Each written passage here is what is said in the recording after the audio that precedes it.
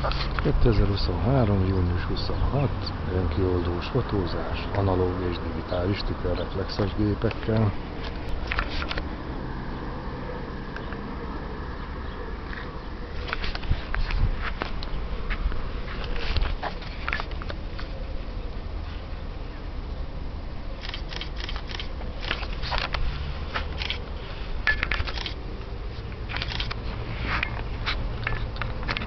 Yeah.